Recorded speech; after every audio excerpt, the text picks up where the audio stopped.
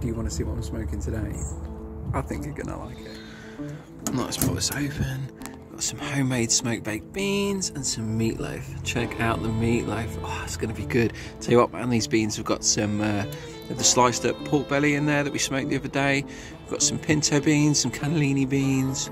All good stuff. Man, if you guys could smell this right now. Oh, look at it! Oh, tasty. Ah, yes, please.